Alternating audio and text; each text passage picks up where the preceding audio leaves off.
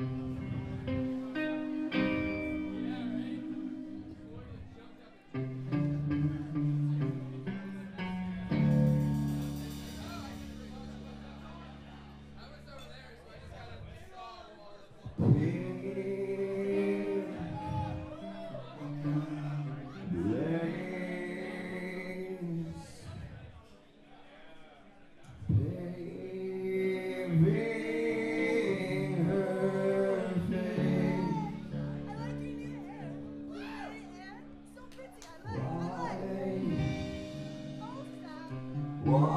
polishing, stopping the sobs of St. Valentine's.